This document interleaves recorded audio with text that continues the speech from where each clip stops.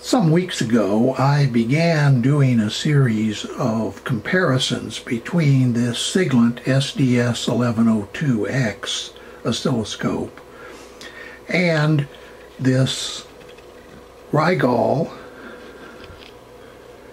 DS or MSO 1074Z. Uh, and I did them in many, many parts. The reason was at the time, uh, being very new to YouTube, I was only able to upload uh, 10 or 12 minute segments. And so I divided everything into segments, but I have been asked by uh, a couple of viewers if I could uh, fix up that series a little bit better and make it a little more watchable, a little more findable. So I've tried to incorporate most of the suggestions people have made. And what I'm doing here is I'm combining all of parts 1 through 3 in this first video. And then I will try to combine uh, segments from the, uh, the rest of the series so that they represent uh, a more viewable set of uh, uh, videos. So this is mainly just to explain what I'm doing and where I'm going. Uh, you'll see it as this video uh, unwinds that it basically is parts one, uh, parts two, and parts three all combined together into one uh, much longer uh, video. So I hope this will work for everybody and I look forward to your comments if you uh, like this this better format than what I had in, in the originals. This Siglent oscilloscope arrived. It is an SDS 1102X. It's the new uh, uh, variable persistence low end Siglent oscilloscope, 100 uh, megahertz. And I have wanted for some time to compare it with the Rigol DS. In, in this case, uh, this is an MSO, but the other, the comparable model would be the DS1104Z uh, by Rigol, which I don't have the 1100, which is the 100 megahertz. Instead, I have the MSO version, which is the 70 megahertz. So that's kind of what I'm going to do. Uh, I'm going to be doing the comparison with a focus on certain lab experiments, primarily lab experiments that are done in graduate and undergraduate uh, university labs, teaching students to use equipment and giving them a practical information about their uh, uh, what they're learning in the theory classes. Uh, in doing that, I'm going to be using a couple of devices that are made by Rigol and Siglent respectively. On the left is a device that's been around for a while. It's a DS6000 uh, demo board. And on the right is a device, I'm not sure how long this has been around, a little bit simpler and a little bit cheaper, made by Siglent, which is basically an oscilloscope demonstration board that they make. I thought I would use both of them because that way there's less chance that uh, that I might have a test set up that favors one or the other unit. So what's uh, what's my basic focus here? Well, in general, most labs these days focus either on analog, digital, or RF. Occasionally, you have mixed signal labs where you use a mixed signal oscilloscope where you have digital and analog and you convert between the two and process. More recently, RF embedded systems have begun to be introduced, and there are a new class of instruments called mixed domain oscilloscopes that attempt to address that. These are fairly expensive at this point, and I certainly can't afford to buy one just for the purpose of evaluating, so I won't be looking at MDOs. I may at some point in the future look at MSOs, but right now my main focus is on looking at digital circuits, and particularly the use of oscilloscopes in, uh, in debugging designs and understanding how uh, various kinds of digital logic works. What I'm going to be uh, dividing this up into is an overall section and then each of these vertical, horizontal, the acquisition interface, the triggering options, the kind of decoding available, measurement, the math, uh, which is related to measurement, but it usually means uh, math operations performed between two channels, and usually that also includes a fast Fourier transform. And then the display characteristics. So let's take a look at that with regard to these two scopes, and I've kind of prepared an overview. The Rigol and the Siglent are basically the same in the same class, at least I think so. Now, Dave Jones on EEV blog has already compared the Siglent to the Rigol 2000, at least in a kind of pre-review sense. Uh, I'm going to be comparing it to the Rigol 1000 Z series. That series has a 7-inch 800 by 480, and you see here the Siglent 8-inch. There's a slight difference in memory depth, but frankly, that's not, in my opinion, uh, very, very serious. Uh, there is a significant difference in the waveform updates, but you should understand that most of those are uh, their marketing numbers more than engineering numbers. The main difference is the uh, Rigol comes with four channels, the Siglent with two, and as you'll see a little later, the Siglent comes with some options that the Rigol you have to pay for. They both are one gigasample per second, and they both have variable persistence. The sensitivity of the Siglent is uh, uh, 500 microvolts as compared to a millivolt per division on the Rigol. And here is the basic pricing. Siglent doesn't have a 50 or 70 megahertz version. The first one that is directly comparable is the 100 megahertz. And there, the prices that I got just this morning off the internet, the Rigol costs 830, the Siglent costs 499. There also is a 200 megahertz version of the Siglent available, but because of the sample rate, and you can uh, watch uh, Dave Jones' EEV blog uh, on this, because of the sample rate, I frankly would not buy the, the 200 megahertz version because you can't really use two channels at a time like that. Here are the options. As you see, the trigger options are included with the Siglent but cost 191 for the uh, Rigol. The decode is uh, extra in both and about the same price. The memory, I could not find a memory extension on the Siglent. There may be one available, so I just put X's there. The record function is $146 with the Rigol. It's included with the Siglent. The 50 ohm terminations, you can buy extra terminations for $18 a channel. They they look like this uh, from Rigol, but they are included in the uh, uh, inside the Siglent instrument. You can just turn them on. And finally, there the logic analysis, and I've misspelled logic over there, is adds about $368, at least at the 70 megahertz level. I could not find a mixed signal version of the Siglent available. So that's basically the overall view. And I'm going to end this video at this point and pick up the next video looking at the uh, more detailed specs of the two units. And we'll start doing some experiments. One of the first things that I noticed on this uh, when I first started on this uh, first section, that is the vertical uh, section, get some more light on that, uh, is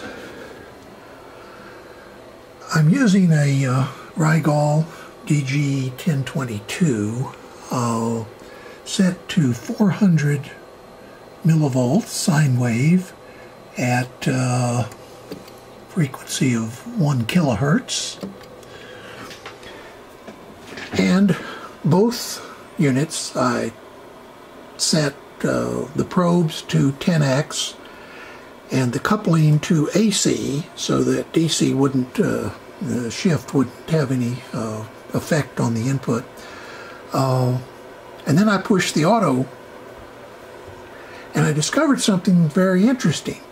At 400 millivolts, here's this one, auto, and you see it uh, comes in. You can tell it's finished when the trigger line shows up across there. Similarly on the uh, Siglent, on this one it blanks out the display while it's redoing and once again the trigger line shows up uh, for a brief instant. But both of them seem to synchronize okay or auto set up on 400 millivolts. So now what I'm going to do is go down to 300 millivolts. And you notice that both of them seem to still be uh, syncing okay. So I'm going to push auto setup on this one. And it seems to sync okay. But over here on the Rigol,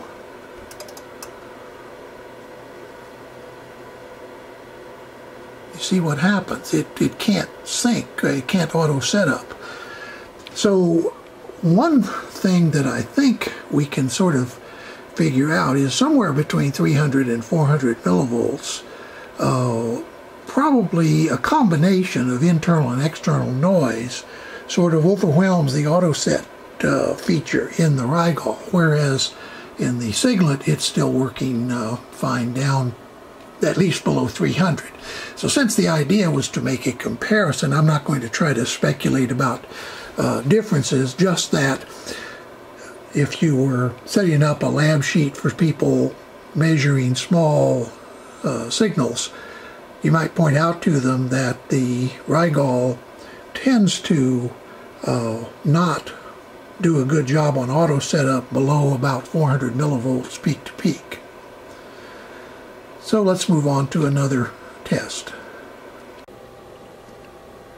Now I've switched to a square wave, still at 300 millivolts. And you'll notice over here, there's, uh, and I've uh, set them both to the same 50 millivolts uh, per division. You notice there's a fair amount of noise on that one, and a fair amount on that one. I don't know if you can see the relative uh, levels of noise. I'll come in a little bit closer here. But it appears that the Rigol has a little bit more uh, noise than the Siglent, at least the displayed noise. Uh, now, neither of these are bandwidth limited, and uh, and and frankly, a lot of that noise is probably external noise because I'm just using a little breadboard and a 10k resistor to terminate the signal generator. Once again, using times 10 probes. But uh, you may notice that there's a slight difference, I think, in the internal noise of the two, which I believe uh, Dave Jones noted also that the Siglent has a lower noise floor than the Rigol. In that case, it was, the, I think, the Rigol 2000. Okay, so let's uh, let's try a couple more vertical tests and try to wrap up this part. Okay, now I've gone to a 10 volt peak to peak uh, square wave, still at 1 kilohertz, the Rigol, the Siglent. And now what I'm going to do is I'm going to raise the frequency. Now you may notice here that uh, this reads the peak-to-peak -peak voltage at 11 point something between 11.0 and 11.5. I'm going to call it 11.25. This one, on the other hand, reads that as, I'm sorry, wrong place. 10.32 volts peak to peak, uh, which uh, it, it may be I have calibrated this one using the internal calibration. I have not done the internal calibration on this one, so I'm not going to pay attention to those differences. but I am going to use those as a reference and I'm now going to raise them up the frequency up to uh, the limit of this which is about 25 megahertz and see what kind of uh, response we get. By the way, on the probes, both the Rigol and the Siglent probes, I found that uh, that frankly the uh, the 10x compensation adjustment is a little bit cheesy on both of them. Maybe a little more cheesy on the Siglent. Uh, and part of the reason is I'm used to uh, Tektronix, and frankly, Tektronix probes are a lot uh, better in general than these probes. And so uh, maybe I'm just spoiled, but uh, that's one uh, objection that I think I would make. Uh, anyway, uh, it's not a big deal because, of course, Tektronix probes are more expensive, but still, you may find that getting the compensation set on these probes is a little bit frustrating.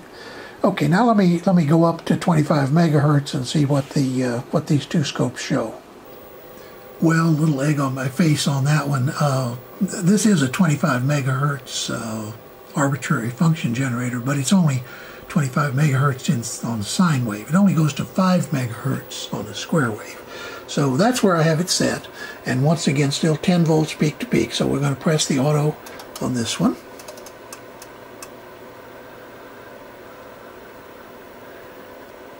And that's probably about right. Uh, given this crude setup, that's probably a, a reasonable representation. Now let's push auto setup on this one, the Siglent. Okay, well, you see a little more ringing on that one. At least I do. Maybe they're the same. Uh, well, I'm going to call them equal in terms of uh, of their display. And so the last thing that I'm going to do is I'm going to test the upper frequency limits of the two and see how close they are. The one on the left, of course, is only a 70 megahertz. The one on the right is 100. But to do that, I'm going to have to go to a, uh, a generator like this that will go up uh, above uh, the 25 megahertz that this one will go and I'll probably just use sine waves to, uh, to do that. So that's the last test, and I'll do that next. I set the Siglent to read a 1 volt peak-to-peak -peak signal at 1 megahertz, uh, and then I raised the frequency of the generator up until the, uh, the signal was down by 3 dB. Now, let me explain a few things you have to be aware of here. One is you really don't want to use scope probes for this. You want a good impedance match. So this is 50 ohm cable. And you may notice that I have the internal impedance of the uh, Siglent set to 50 ohms. You have to reset the probe scale because of course there's no attenuation in this uh, in this cable. Well, I mean there's attenuation, but it's not a, a multiplier probe.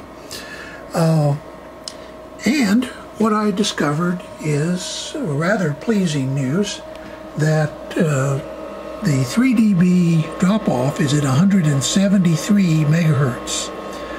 That is, even though this scope is rated at 100 megahertz, it appears to have uh, bandwidth out to 173 megahertz, uh, 3 dB bandwidth. So now I'm going to move over and try the same thing in the Rigol. You may have not remembered that when I did the overview, I pointed out that with the Rigol, you have to have buy an external 50 ohm terminator. This is a pass-through terminator. I have one installed on channel 1 right there. So I'm going to move over and do this on the Rigol as well. Well, same test on the Rigol and same good news once again 50 ohm inputs, uh, 50 ohm output uh, from the uh, generator. Uh, set it up for 1 volt peak to peak at 1 megahertz and then go up to the 3 dB point and look at that 124 megahertz. Now remember this is rated at 70 so uh, so once again about 1.7 guessing in my head times the spec Uh, now, understand this; these are just two particular individual units, and uh, you can't really uh, say that all of them will be this good or this bad. But uh, that's impressive performance for a 70 megahertz uh, scope. Okay, well that's the end of the vertical section tests that I'm going to be doing because I'm really just comparing these for use in a university lab, not for uh, all kinds of applications. Uh, and those are the kinds of tests that I normally perform for this kind of thing. And so I'm going to stop at this point and uh, change subjects. Okay, now I'm going to move on to acquisition and horizontal. Uh, I group these two together because uh, they're they're very much the same thing. Uh, and in fact, uh, some of the modes that uh, I think the Siglent puts under acquisition, Rigol uh, puts them under horizontal. So I'm going to call them the same, although they are slight differences in, but they basically are the the time stamps. In other words, one, two, three, four across the screen. That's the acquisition. It's also the horizontal display.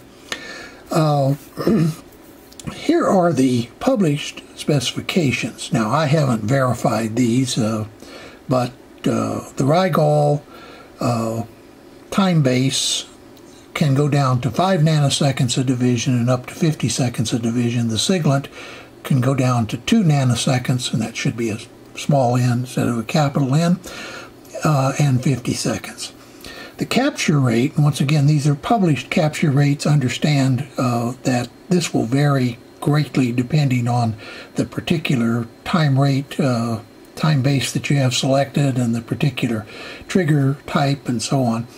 Uh, this is kind of a maximum of 30,000 waveforms a, a second versus 60,000 for the Siglent. They both sample at 1 uh, gigasample per second. As I pointed out earlier, the, uh, the Rigol comes with 12 meg of memory and the Siglent with 14. You can buy a memory upgrade for the Rigol, but uh, here I'm just looking at what you what you get when you buy the scope if you don't buy any options. They both have an XY mode, and I'll show you that a little later. Uh, they both have a roll mode. The difference is the Siglent can go down to 50 milliseconds uh, uh, per division in roll mode. The Rigol can go down to 200 milliseconds. Uh, then the acquisition. There are basically three types of acquisition that these scopes do. All three do, or both of them do all three. The normal mode the peak mode and the average mode. And the difference is that in the peak mode, it looks for the peak of the signal. In other words, if you do an average, what you're doing is uh, eliminating the noise by basically averaging several sweeps together. In the uh, Rigol, you can have as few as, as two uh, sweeps uh, in the average up to 1,024. With the Siglent, you have to you can only start at four. So basically, you can have an average of one, or in the case of the Rigol, two, four, eight, etc. Uh, averages. Uh, the reason that the peak matters is if you're looking for a, uh, a narrow signal, the ability to sense the peak, and here the Siglent has a, about a four to one advantage over the Rigol. They, they claim that they can that they can peak detect uh, one nanosecond, whereas the Rigol uh, can only do four nanoseconds. But one of the things that I want to show you is this history function that the Siglent has, which I do not think that the Rigol has. Uh, so let me show you that right up here. What I have going on, by the way, you may notice that I turn off the Rigol when I'm not using it. The reason is that uh, I have some trial licenses that come with the scope, like the decode options and, and the extra memory and so on. And it turns out that apparently, whenever you have the scope on, you're using the time on those trial licenses. So if you uh, if you forget and go home for the day and leave your, your scope on, you may come back in the morning and find that all your licenses have disappeared. But understand, they're free trial licenses, so it's not like you paid for them. Uh, but I'm saving those so I can use them to compare with the Siglent when I get to particularly the trigger and decode options. Uh, okay, so what we have here is a random uh, signal. Now, hit the stop button over there to show you kind of what it looks like. Uh, it is a uh, sequence of random width pulses and I have it set right now to uh, this is I just did the auto setup so it's basically using edge trigger now here is what's interesting about this scope it has a button here called history you hit the history button it stops the scope. Now that's no different than hitting the run stop button. But down in the lower right hand corner here you see you have a frame number. What it has done is it has saved each frame of the scope. Now a frame is, is basically what you see here on the uh, on the display. It's, it's this much data. But it has saved each and every one of those. So for example, if I go to frame number one, right there, you see what, what we're looking at. Then if I go to frame number two, no, that's frame number two, and you'll notice it was different. And the nice thing about this is, unlike regular run stop, let me uh, let me do a a regular run stop. You see there, if you want to look at the uh, at something, you can zoom down, but you're stuck with that particular uh, frame to look at. But the nice thing about the history function is if you hit the history function, you can not only look at that frame, but you can also look at the all of the other frames. And in this case, it recorded uh, 3,583 frames. Later, when we uh, look, uh, oh, by the way, also one thing you can do is you can zoom in on each of those. And I don't think I uh, talked about the zoom, but I'm going to add that to the list of features. Both of the scopes have a zoom feature where you can basically change the time frame and notice the bottom window is basically showing what's what's in the uh, dark area of the upper window. The upper window is what was captured. The lower window is an is an expanded or zoomed version of that. So uh, I think also uh, Dave Jones was a little bit uh, perturbed because I think he got trapped in the history mode and he couldn't get out. I figured out a way to get out. I'm not sure if it's the right way. Uh, by the way, in the in the manual it says if you hit history and then stop.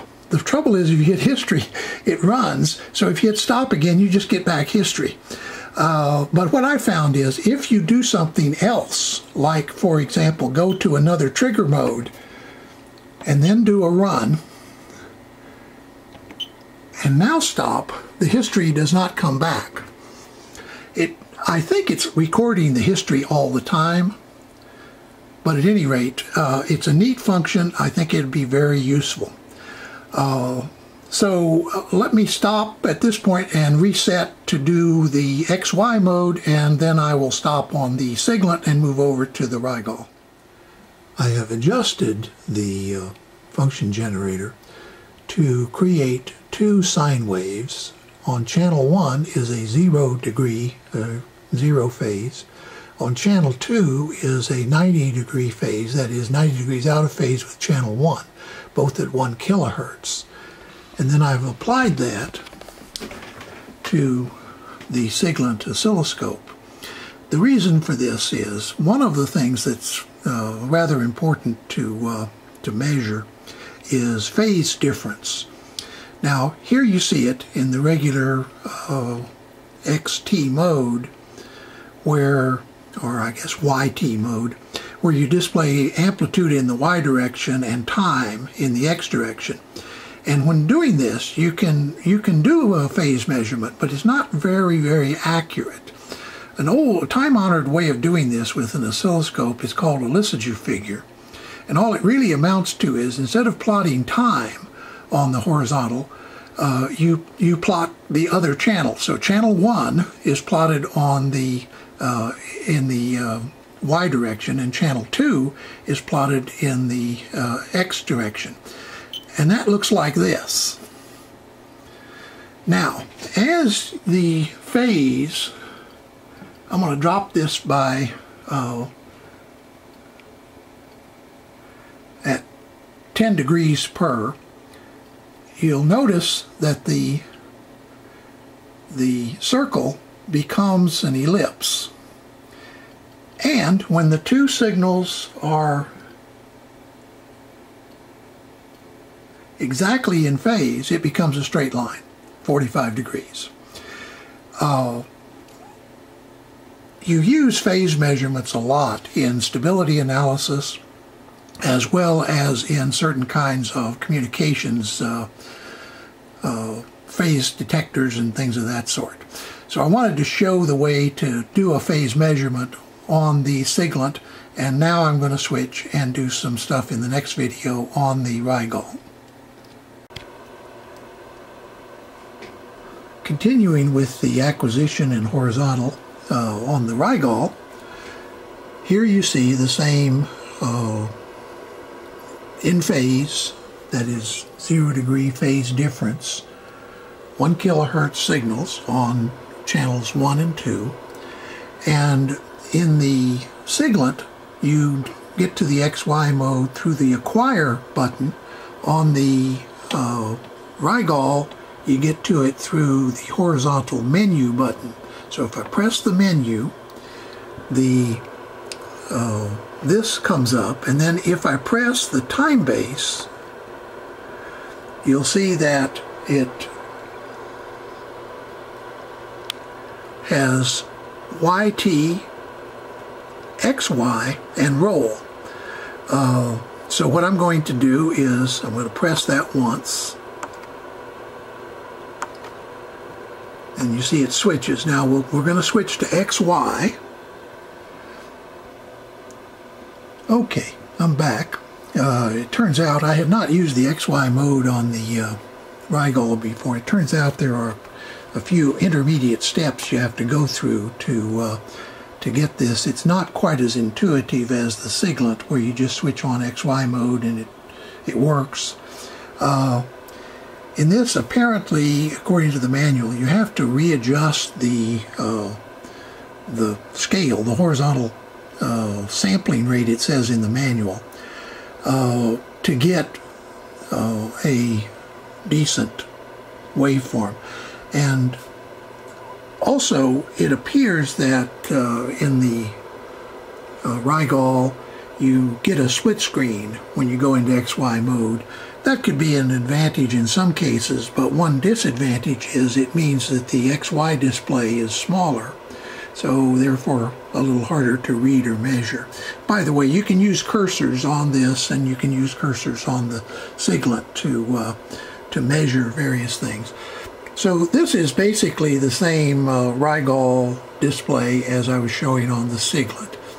Uh, once again, the problem that I had with the uh, with not understanding how to use the XY mode is another example of why that uh, Rigol's policy of causing the options to uh, be used up whenever you have the scope turned on, the trial options, means that by the time you've learned a lot of the other functions of the oscilloscope and gotten around to checking the uh, some of the more uh, rarely used options. You may not have the trial version anymore. They may have expired. So basically you're, you're learning on your own time, or maybe I should say you're learning on your free trial time, uh, even if you're not using the particular function. So for example, I haven't tried to use the decode functions yet, which I will later, or any of the advanced trigger functions, and yet already the uh, there is less time left on those uh, trials.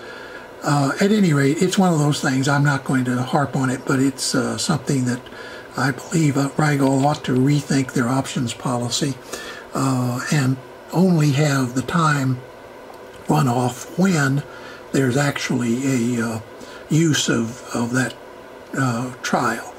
That may be too complicated for them to do in this uh, version, but maybe if they release oscilloscopes in the future, they'll consider uh, letting you learn the option on option time, not on general scope time. So anyway, uh, that's where I'm going to end this one, and then I'm going to uh, move on to the next subject. A very quick uh, addition to the video to uh, just let you know that there are other ways using these scopes to measure things like uh, phase difference and delay and so on. I'm going to save those until I get to the section on measurement because that's where you find them in the scopes. But uh, so Lissajous figures are not the only way to measure phase differences and, and so on. Uh, but like I say, that'll come up when I get to measurements.